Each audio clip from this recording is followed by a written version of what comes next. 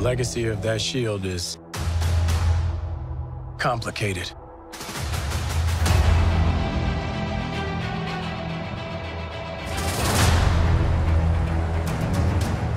The world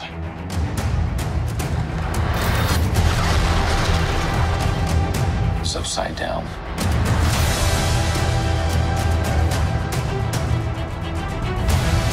People need something to get behind.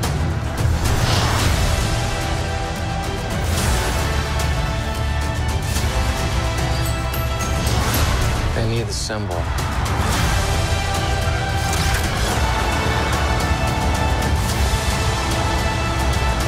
So what's our plan?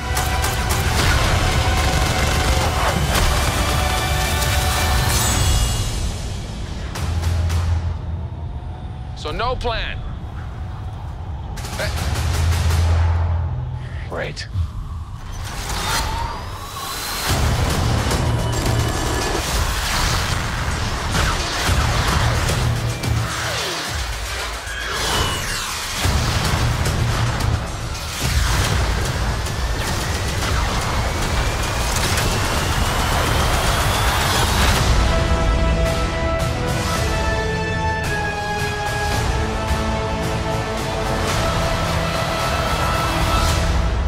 On in that cyborg brain of yours? You don't want to know. Oh, yeah, I can see it working. Gears turning. Oh, they're malfunctioning. They're on fire. God, I hate you. Moving to our next series for Disney Plus, which launches this coming March, The Falcon and the Winter Soldier features two recognizable superheroes last seen together in the final moments of Avengers Endgame. Sam Wilson, aka the Falcon, is played by Anthony Mackie, and Bucky Barnes, the Winter Soldier, is played by Sebastian Stan. The Falcon and the Winter Soldier is a cinematic experience. It's a Marvel Studios movie played out over six episodes. And now, here for the first time is an exclusive look at The Falcon and the Winter Soldier. Welcome back, everyone. It's Charlie. This is going to be my new Marvel Falcon and Winter Soldier trailer. We have episodes coming up really early in 2021, so I'll explain what's going on with the release date, the episodes, and how this crosses over with the movies and the other bigger stuff in Marvel Phase 4 and Marvel Phase 5 that it's setting up through Mutants, the Weapons Plus program, Weapon X, if you're new to the channel, be sure to subscribe to get all the videos. I'll do a Disney Plus giveaway when we get ready for episodes of WandaVision. That's going to be the first series to release in January. Falcon and Winter Soldier is going to premiere March 19th. So there'll be a couple weeks break between the end of the WandaVision episodes and the finale and the beginning of Falcon and Winter Soldier because they're still finishing the editing and post-production on Falcon and Winter Soldier episodes. But as you can see from the trailer footage, there's going to be lots of Easter eggs for all the Captain America movies, obviously, because it's a Captain America based series going back to Marvel Phase 1, the Super Soldier program, becoming the Weapons Plus program via Thunderbolt Ross and all the Hulk movies. We get a really good look at their new costumes, and if you guys didn't know, Florence Pugh's Yelena Belova Black Widow is supposed to show up during the series. She's also supposed to be featured during the Hawkeye series, which makes sense because Hawkeye, Black Widow characters kind of go together, and she's becoming the new version of Black Widow. They're sort of passing the mantle during the course of the Black Widow movie. And as you see them travel to a bunch of different locations through the trailer, one of the other really cool Easter eggs for upcoming movie they just announced is the Fantastic Four movie, if you can believe it. They go to Latvia during this series, so I'm not expecting Doctor Doom to show up or anything like that, but it's them just laying the track work to do the Fantastic Four. If you didn't see it, I just posted my Loki trailer video. There's a lot of that similar Fantastic Four Easter eggs in the background going on during that. So, like, the Fantastic Four won't show up during the Loki series, but they're laying a lot of track work for Kang the Conqueror, who is a big character to the Fantastic Four because he's Nathaniel Richards. He's the descendant of Reed Richards. So, it's them just doing a lot of Fantastic Four stuff in the background before they actually release the movie. Thankfully, Marvel revealed that they are making a brand new rebooted Fantastic Four movie. They haven't announced the cast yet, but it's being directed by Spider Man director Jon Watts, who's done all the MCU Spider Man films. Probably because there's going to be some Spider Man crossover with Fantastic Four. Everyone start getting hyped for the amazing Bagman in the MCU.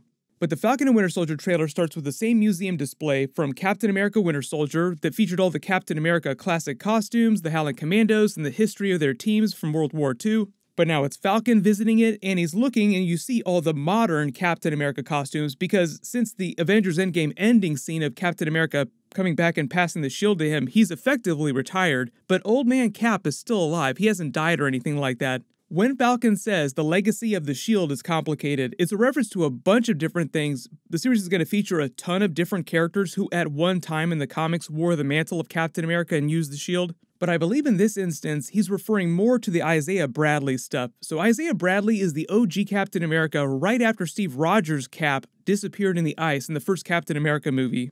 This scene of them just hanging out at this house down in the south just seems like them chilling out after the ending of Avengers Endgame. Like they just want to lay low for a little while.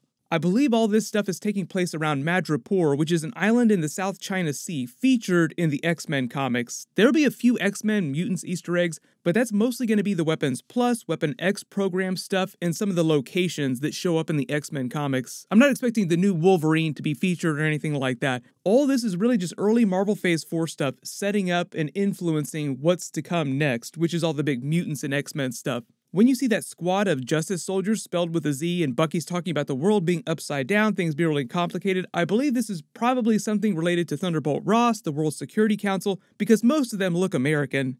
Someone blows up a lab near a bunch of shipping containers. The lab is probably a reference to the super soldier serum someone is able to bring back during the series. The super soldier serum itself, or a version of it, the newest version, is one of the MacGuffins of the series. Somebody is able to resurrect the super soldier program, and it becomes a big threat. So that's just one aspect of the series. Flag Smasher is supposed to be one of the main villains next to Baron Zemo. So obviously we see Baron Zemo during the trailer, but I believe this girl, who will probably seem familiar, that's wearing the mask with the handprint on it, I believe she's either related to Flag Smasher or she herself will wind up being Flag Smasher. The whole thing with that character is that Flag Smasher's this classic Captain America villain who's all about tearing down world governments with the idea that it will bring the world together in common cause under a single banner. The comic book version is kind of silly, so I'm assuming they're toning it down just a little bit changing it for the MCU version. The whole thing with Baron Zemo, though, as you see during the footage, like you see Bucky talking to him, obviously they have a complicated history together. I believe that Baron Zemo is slated for their eventual Thunderbolts team up, so my assumption is from the footage and the way they're portraying the character, just the way he's coming off, is that through the course of the series, Baron Zemo will wind up helping them stop Flag Smasher, and in the process, Thunderbolt Ross will offer him a chance to knock off some time from his sentence by joining the Thunderbolts eventually.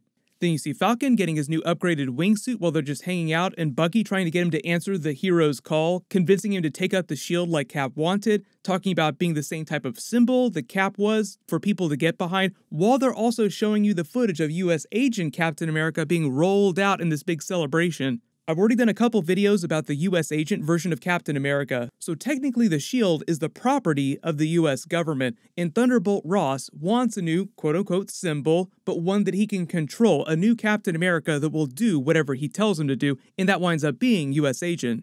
But if you've seen any of the behind the scenes footage, US Agent is kind of like the stabbier, darker version of Captain America. The scene of Baron Zemo seems like he's standing at a monument to Sokovia, probably thinking about his dead wife and child, wearing his trademark purple outfit from the comics. He does wear the purple hood from the comics as well. We get a big montage of action scenes. We see Winter Soldier on his new bike. They did tease that they would reveal some of the other special abilities that his vibranium arm has that Shuri designed for him. They said that during Infinity War and Avengers Endgame, there was a whole bunch of stuff that it does that we just never saw because they never had time to get to it. Then you get that funny scene of them on the plane together, Bucky saying, What's the plan? No plan? Great. Awesome, as they jump out the back. Then they just show off a montage of Falcon trying to evade all those missiles in the canyons using his new wingsuit, just kind of showing you what he can do because they have much more time to spend on it. Then, after a montage of a bunch of fight scenes, they get that funny tag scene of them just making fun of each other like Captain America Civil War, just being two dudes. Falcon referencing Bucky's cyborg brain, which is a nice callback to Black Panther, and Shuri helping deprogram all of his Hydra brainwashing and commands. So I believe when the series picks up, as of the ending of Avengers Endgame 2, all that's gone. He can't be controlled using the red book and the commands anymore. And even though she's not really featured a lot during this trailer footage, Sharon Carter came back for the series. Emily VanCamp is a pretty big character. She'll be helping them out take down Flag Smasher. So just a reminder, Falcon and Winter Soldier episodes starting March 19th. There'll be six episodes total. They're calling it a mini series, so I don't know if there's going to be a season two or not. Same thing for WandaVision, but supposedly they are going to do a Loki season two. They haven't completely revealed all those plans, but there'll be three to four of these different series per year. 2021 is going to have four of them, so it'll be WandaVision, then Falcon and Winter Soldier episodes, then 10 episodes of Marvel's What If series, and then Hawkeye episodes at the end of the year. But if you spotted any big Easter eggs that I didn't mention during the video, just write them below in the comments. I'll be doing more trailer videos for the Marvel Phase 4 trailers they dropped this past week and the Star Wars Disney Plus trailers for the upcoming stuff, like Star Wars Obi-Wan Kenobi, Hayden Christensen coming back as Darth Vader, the Mandalorian Ahsoka spin-off series. So as long as you have alerts enabled for my channel, you should see all those videos when I post them. Everyone click here to rewatch my Loki trailer video a billion more times, and click here for my full Mandalorian Season 2 Episode 7 video. Thank you so much for watching. Everyone stay safe. I'll see you guys tonight.